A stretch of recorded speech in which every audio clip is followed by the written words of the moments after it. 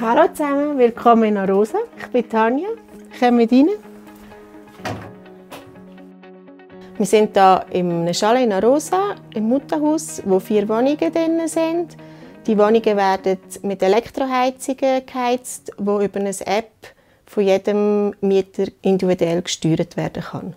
Ein großer Vorteil ist, dass ich die Heizung auch von extern steuern kann, nicht wie früher, wo wir amix, bevor wir angereist sind, ähm, Hausabwarten müssen anrufen oder jemandem, der uns die Heizung eingestellt hat, dass es warm war, bis wir da sind, was ebenfalls auch mindestens einen Tag gebraucht hat, wenn nicht über Nacht. Und heute kann ich das von daheim zwei Stunden voraus machen.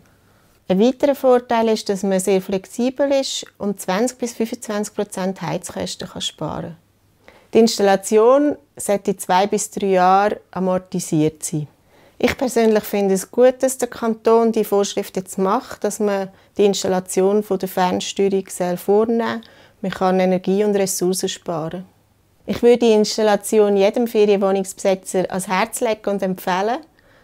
Und zwar das auch von einem lokalen Elektriker zu machen. Man hat dann immer einen Ansprechpartner vor Ort, kann sich auf die Ferien freuen und muss nicht mehr ans Heizen denken.